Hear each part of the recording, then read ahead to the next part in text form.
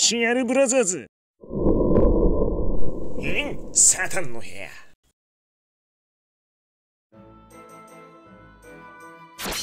今日の回はモンストニュースまとめやっていくってやつでさあというわけで今回はモンストドリームデイズデイ2モンストニュースまとめ重心化重心化改編やっていきたいと思うぜはいということで皆さん2日間お疲れ様でした盛り上げてくれて本当にありがとういやーやばいなすげえ満足あのもうほんとルシがマジでやばいよ使ってみたけどもまあ、恐ろしい性能をしている。本当に帰ってきてくれて嬉しいよな。まあ、他のメンバーも重心化重心化回もなかなかすごかったから、今回まとめていきたいと思うぜ。いや、なかなかやべえやついたな。うん、マジで。もう皆さんちょっとお気づきかもしれんけども。はい。で、今回プラスで最新情報とニュース外情報もあったから、それもまとめていきたいと思うぜ。はい、やっていきますか。まずは、重心化カダ。はい、最初を飾るのはカダ。周りの動物大丈夫？これ。待って、上の猿何？これ。うん、まあちょっと行きますか。はい、見ていこう。反射ゲージアジンバランス型ガイド、アビリティ超アンチ重力バリア、マインスイーパー M、アンチウィンド、ライトポジションキラー、ゲージでアンチブロック回復 M、ストライクショットターン16プラス8、スピードとパワーがアップヒットした敵の弱点を全て出現させる、友情コンボ16方向レーザー EL 超絶爆発となっているぜ。さあ、というわけで見ていきますか。はい、カダさん4ギミック対応になりまして、幅広くいけるようになりました。まあ、適正で言うと、もともといけてた9の極、あの極を、まあ、さらにいけますよと。まあ、でも、あそこいけてもっていうところだよな。はい、このカダさんなんと怖いところがあって、この4ギミック、不足点と全く一緒。はい。まあ、近畿の深淵とか、その光が出てきて、えー、ドハマりする可能性が十分あるよな。で、しかもその不足点と相性抜群。はい、えー、ワクワクの恩恵完璧に受けれるし、アジンバランス型激死一生反射で。で、しかもお互い、えー、回復要素を持っている回復 M と不足点はドレイン。で、最後に、この、肩、超絶爆発を持っていて、不足点のパワーフィールドを誘発して火力を上げることができるという、なんかそういう風なね、感じですげえハマってんのよ、お互い。はい。まあ、えー、殴りもやっていくし、回復も必要とする、そういうね、えー、高難易度が来るかもしれない。まあ、しかも、えー、この人、えー、殴り火力でいくと、超バラにマインスイーパー M、えー、ライトポジションキラーと、えー、殴っていけるし、まあ、あの極、9の極で行くんであれば、ずっとボス右側、中央か右にいるから、それを意識してんのかはい、しかも弱点も出せるということで、まあ結構万能にやってのけるそういうキャラかなと、はい、まあハマったら怖いよねというキャラになってるぜ。はい、まあ現状どうこうっていうわけではないな。はい。さあ、というわけでお次は、来た夏アルファ重心化回いやー、サタンアルファうわ、お前は予想を当ててあげたかった。マジ来たか、本当に。まあ、この俺が重心化回しやした。まあいつかは35万ザル孫悟空アルファもこういう時来るんかなその時はね、えー、輝いてほしいけども。はい。というわけで、皆さん、すげえ重心化回で強化されやした。しかもちょっとよ、サタンアルファ、えー、モンストニュースの時にいろいろあったよな、なんか、面白いことが。まあ、それについてもね、話していきたいと思うぜ。はい。というわけで見ていこう。まずは、獣神化改テキーラアルファ。いや、すごいね。イラストいいわ、本当に。はい、反射妖精超バランス型クリティカル。アビリティ超アンチワープマインスイーパー M。回復 M。ロングシールドモード。はい、新しいやつ。コネクトスキル超アンチ重力バリア SA スタン短縮パワーオーラ。発動条件が自身と種族が異なるキャラが2体以上、または自身と線形が異なるキャラが2体以上、ストライクショットターン16プラス8、スピードとパワーがアップ敵を倒せば倒すほどパワーがアップする。友情コンボ、スクランブルレーザー EL、超絶中距離独角三段9という感じになってるぜ。はい、ということで、まあ、いろいろと追加されたよな。はい、まあ、まず目に映るのが、ロングシールドモード。これが従来のものよりも持続時間が長いと。いや、元々のシールドモードが弱すぎたのよ。あれなんなんて感じだったよな。入ってすぐ消えるし、まあ、これが、結局ね、体勢をつけてくれた方がもう全然いいじゃねえかっていう結果になってほしくないよな。はい。えー、で、他で見ていくと、マインスイーパー M もらったことによって、3ギミック対応になりました。まあ、これで幅広くいける。炭治郎と一緒になっている。まあ、現状で言うと、えー、バークテステンペス闘争。うん。まあ、そういうとこぐらいで、えー、結構古めの感じになっているから、まあ、この3ギミック対応で今後活躍してほしいかなというところがある。うん。で、殴り火力でいくと、超バラに超アンチワープ、マインスイーパー M、で、パワーオーラ、結構殴っていける。で、防御面で言うと、回復 M、ロングシールドモード、2つあって、これがパワーオーラの条件を満たしやすくしてくれていると、それがあったら本当にね、強力に殴っていけますし、これがさらに友情コンボにも乗ってくると、スクランブルレーザー EL は超バラにパワーオーラ、はい、それプラス、え毒を持っているということで、えー、まあそういうところもある。で、この SS、はい、なぎ倒し SS、これ非常に強力な SS で、えー、もう雑魚も一掃するわ、そのままボスも全ゲージ持っていくわ、っていうぐらいね、相当強力な SS なんだけども、まあ、最近で言うとテンスラコラボでカンウが、えー、やったよな。あの、超究極イフリートでもう暴れ回ってもボコボコにすると。でそれが SS 単短縮で早く、えー、打てるようになったし、えー、もともと自強化部分がそのパワーがアップしなかったんだけども、今回パワーがアップするようになりました。はい、というところで、まあ、この火力上げアビリティ豊富についており、クリティカルもあるんか。それでこの SS 殴っていけるのは強力かなというふうに思うぜ。はい、まあ、攻守バランス取れていて、友情コンボも威力が出せる。しかも毒を持っている。はい、3ギミック対応してハマれば相当怖いかなというところ。はい。さあ、というわけでお次は、ノンのアルファ。はい。いや、イラストいいな。しかもこの子は過去のモンストで1位、2位を争う、そういうもう最強キャラとして君臨しておりました。いやー、ほら、一時期すげー狙って引いたよな、ノンアルをみんな。いや、強いのよ。で、いや、しかもよ、現状でも、最高難易度天魔のアーキレットで適正持ってるっていうのが、やばくない？未だに強いのよ、この子。で、その強いこの子が、さらに強化されましたよ、というところ。見ていこう。貫通アージン超バランス型クリティカル。アビリティアンチ重力バリアマインスイーパーアンチブロック。ロングスピードモード。はい。ロング2回続きました。コネクトスキル超暗視ダメージウォールバイタルキラー M 発動条件自身と種族が異なるキャラが2体以上。または自身と線形が異なるキャラが2体以上。はい、ストライクショットがターン8プラス8。敵の弱点ヒット時に大ダメージを与える。友情コンボ全敵貫通分裂弾弱点長弾となっているぜ。はい、ということで、もりもりもらってるよな、本当に。まあ、最初に見ていくのが、ロングスピードモード。はい、これが従来のスピードモードよりも持続時間が長いですよと。まあ、これどんな感じか。まあ、あの、スピード上がっている。で、もともと3ギミック対応で、えー、当時から幅広くいけるなと思ってたけども、そこにマインスイーパーが追加されました。はい、主要ギミックの4ギミック対応。まあ、これかなりでかい。その代わり、やっぱ他にも強い部分あるし、使用ギミックということもあり、まあほんと薄く対応してるって感じだよな。まあ超暗視ダメージウォールであるんだけども、はい、まあマインスイーパーも、まあ超でもなく M でもないというところだよな。で、殴り火力でいくと、もともと火力上げアビリティが超バラだけだったんだけど、はい、超アンチダメージウォール、バイタルキラー、M と、はい、急に2倍の M をもらいましたと。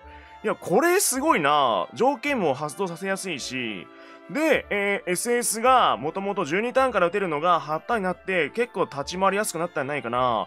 まあ、これでの、えー、アーキレットで殴り、いや、バイタルキラー M 使って SS 打った時、威力やべえよな。で、さらに気になるのが、この友情コンボだよな。これにバイタルキラー M が乗ってくると、はい、超バラバイタルキラー M の全敵貫通分裂弾と、はい、この弱点長弾。はい、まあ、これ、アーキレット俺、今、まあ、多分400周ぐらいやったんだけど、出てないのよ、全く。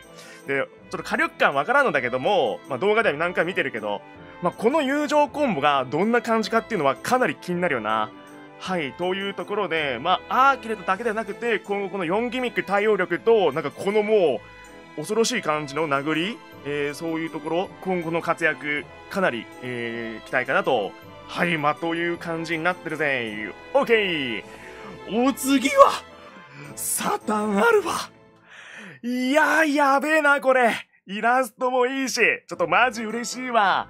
しかもよ、性能半端ねえ。やばい。いや、制作者が言うには、今回一番危険なキャラかもって。いや、ほんとその通りのような感じになってる。あの、いろんなところで祝福コメントあったんだけど、あの、皆さん本当にありがとう。いや、よかった。で、やっぱ面白かったのが、発表の時に、ロングシールドモードと来て、ロングスピードモード。いや、もうあのモードしかないやはい。ロングパワーモード。あったよな、これ。公式のコメント欄でよ、もうこのパー、このパー、このパーってね、すげえあって、ちょっとお騒がせしたんだけども、まあ祭りだしな。今回はちょっと嬉しかったわ。みんなありがとう。はい。で、おそらくね、これ、うち意識してんのよ。まあ、というのが、あの、去年の時に、その、運営さんと結構話す機会があったんだけど、やっぱそれね、ちょっとそういうの意識してるんだって。あの、この前のフラパンの時に、会場周辺に春子のポスターあったのは、あの、うちの、そのことによってやったんだって。だからこれも、おそらく意識したんじゃないかなっていうのはあるよな。うん、まあ、他にもね、そういう話結構あって、まあ、機会あったら、またしたいと思うぜ。まあ、実際にいい感じに盛り上がったと思うから、いや、嬉しいわ、本当に。運営さん、ありがとう。コロポはい、ということでちょっと見ていこう。反射魔王、超バランス型クリティカル、アビリティ水属性キラー、魔封じ、ロング、ポーモード、えー、コネクトスキル、弱点キラー、重力バリアキラー、原用キラー、発動条件が自身と種族が異なるキャラが2体以上、または自身と線形異なるキャラが2体以上、ストライクショットターン6プラス6、えー、ダメージウォール重力バリア、まあ、オールアンチ SS で最後に停止後に一定期間アクセラレータ状態になる。友情コンボ、超絶貫通ホーミング12、えー、超絶ホーミング18。なんこれ？なんこれ？どんだけ火力乗んの？これ。あ、ノンの？アルファじゃなくて。な、の、乗んの？乗るの？これ。だから、一体の敵に対して、超バランス型、クリティカル、で、水属性キラー、で、ロングパワーモード、弱点キラー、重力バリアキラー、で、種族。7個ぐらい乗んのこれ。いや、やばくねこれ。どんな火力感になんの？で、それが友情コンボに乗ってきますで、超絶貫通ホーミング12。12。怖マジで、さらに、この SS オールアンチとアクセラ状態。で、これが、ま、6ターンで打てるわけよ。で、まあ、最近で言うと、そのミューズとか、まあ、その、短縮するタイプ。まあ、結構楽にね、短縮する、その、バウンドチャージとかあるじゃねえか。まあ、とか、そういうの組み合わせると、ほぼ毎週打てるんだよな。だから、今回ギミックね、全く対応しないんだけど、このオールアンチでいくらでもね、立ち回ることができると。で、あのー、公式の方では、ハービセルで強いと言ってたな。だから、えー、短縮できるやつと絡んで、ブーゲンビリアルファか、SS 短縮できるから、あいつ SS で、火力気になるところ。で、まあ、やっぱり思うのが、最近のあそこだよな、深淵の水でミューズと組み合わせて、え短縮施設、SS 打ったらどんな感じになるのか。まあ、そこ気になるよな、本当に。いやー、当時のね、いい感じの、あの時の、あーなんか尖ってんなーっていうのを、また同じように尖らせてくれた、結構理想的な重心化回。いや、やっぱこういうキャラ使うときね、めっちゃ楽しいのよ、本当に。いやー、去年ちょっとギリ俺、弾いてよかった。全端末、頑張って弾いたの、去年のこの時期。あー、夏ぐらいの時に。うん、いいね、これ本当に。帰ってこいよ、タマキンどもド派手なロックで迎えてやるぜはい。というわけで、お次は、重心化界天草四郎はい。いやー、もう個人的に結構思い入れのあるモンスターで、あの、どういうことかっていうと、俺っていうほら、その、モンストの映画、あの、友達と見に行った時に、俺だけ爆死したから、もうマジでムカついて、あの、もう友達引き連れて帰ったんだよな、映画見ずに。はい。で、それとはまた別の映画で、この時あって、その時も、俺無課金で、確かオーブン250個使って、あのー、ゼロだったのよ星5、6。友達いっぱい引き当てて、みんなも楽しそうにしてんだけど、で、その後確かシングルとかポロポロやってて、最後に出たのがアンバックスタイ MV。はい。で、その映画も見ずに帰りました。はい。反射正規士超バランス型シールド。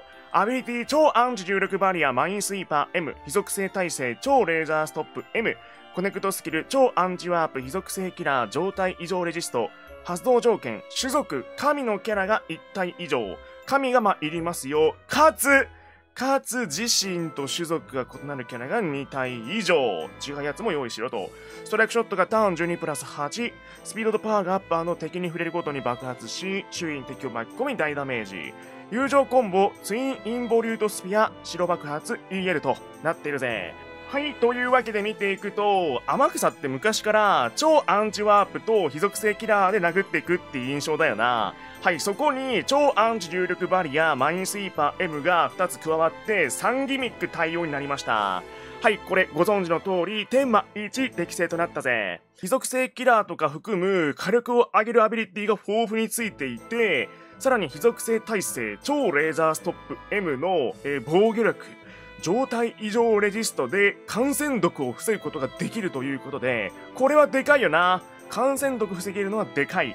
で、コネクトスキルの発動条件が、まあ、神入れろよと。それ結構やりやすくて、ワタツミっていう相棒がいる。さらに、マソもそうだし、ブリキッドもそうか。そこは結構満たしやすそう。まあ、数の条件も忘れないように。はい。で、友情コンボには、超バラと非属性キラー乗ってきて、このツインインボリュートスピア。これって結構強いよな。あの、マスタング大佐で深淵使ってて、あ、なかなか入るなって思ってた。まあ、天魔さんもそうなんだけども、それが超バラと非属性キラー。まあ、マスタング大佐の友情コンボ底力が常に発動しているというイメージになってくるかなというところ。ですが、皆さんご存知の通り、リムルっていうやばいキャラがいんのよ、本当に。もうマジ天魔1でも最強、強すぎる。まあその状況でのこの登場。えー、でも、まあみんながリムル持ってるわけじゃないから、選択肢が増えたっていうイメージでいいと思う。うん。はい。というとこはちょっとね、押さえておきたい。やっぱリムルが強すぎる。はい。という感じになってるぜ。お次。はい。というわけで、俺はこの MV でやっていくぜ。お次。ラプラス獣神化。いやー、イラストマジでいいな、これ。何なんだろうか。すごいいいよな。今回全体的にマジいいわ。はい。というわけで見ていこう。反射魔王パワー型ガイドアビリティ超アンチ重力バリア超アンチダメージウォールアンチワープ重力バリアキラー EL EL ストライクショットターン8プラス8スピードとパワーがアップ触れた敵の攻撃アップ防御アップ反撃モード怒りを打ち消す友情コンボ3方向追撃貫通弾超絶貫通拡散弾 EL5 となっているぜはい、というわけで見ていくと、ラプラス、分岐ではなくて、神化ベースで重心化していると。はい。だからまああのイメージを。で、えもともと重力バリアとアンスダメージウォールに対応していたけども、アンチワープが加わって3ギミック対応になりました。これでいけるとこが増えた。はい。で、やっぱりこれだよな。重力バリアキラー EL。はい、えー、これが EL になって、3倍の火力を殴りと友情コンボに乗せることができると。重力バリアをまとった敵に対しては、まあ、すげえ火力出していきますよと。ダメージウォールがあれば、さらに超暗視ダメージウォールも加わってくる。で、やっぱりまあ、神化だから、パワー型なんだよな。パワー型で、何個か火力上げ要素があるわけではなく、その目玉の重力バリアキラー EL がもうドーンってあるっていう状態じゃねえか。例えば、ダメージウォールとワープのクエスト行ったら、ほとんど火力出せないし、あの、重力バリアのクエストでも、その、肝心な敵が重力バリア持ってない場合があるんだよな。うん、倒したい雑魚が全然持ってなかったり、ボスもなぜか部分的に重力バリアをまとってない場合があるんだよな。え、なぜこれボスにだけ重力バリアないのとか、そういう状況もあると。まあ、やっぱパワー型にしたかったと思うんだけど、だったら超バラとかで重力バリアキラー M とか L でもよかったんじゃないかなっていう風にはちょっと思ってしまう。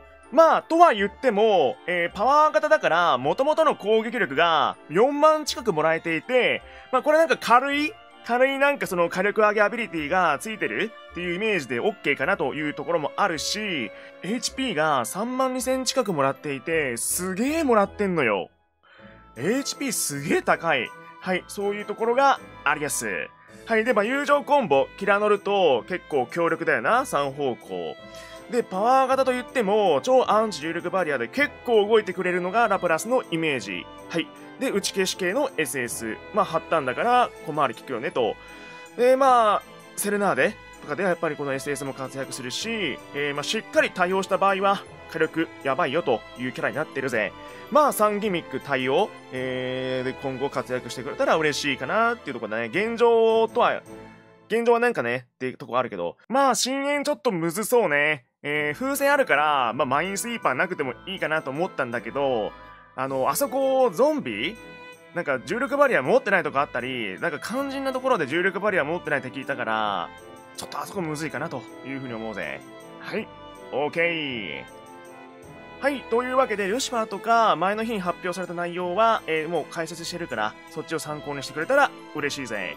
ルシファー最強 !OK! で、解禁日はこんな感じになってるぜ。いや、でもなんかやっぱり今回イラスト良くね？全体的に。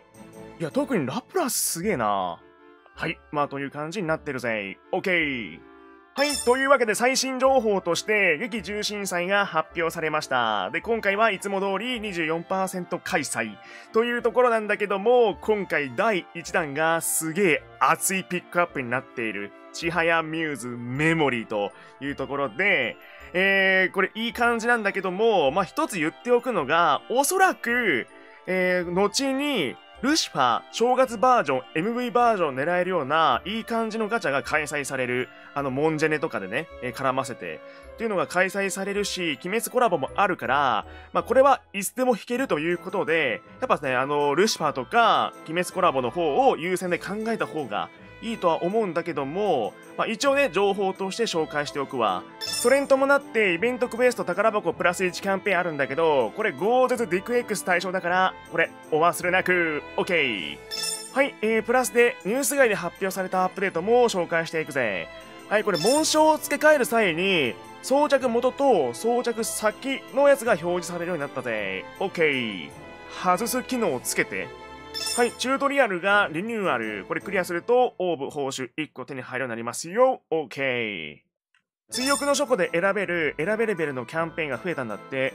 えー、全属性書庫ポイント消費ゼロと全属性の金玉排出率2倍が合わさって、まあ30分の効果になりましたってやつ。OK。はい。えー、まあ、オーブのその配布のやつね。これ分かりやすく期間出てるから、これ見て参考にしてくれたら嬉しいぜ。OK。というわけで今回ここまで。次の動画でお会いしましょう。あばよ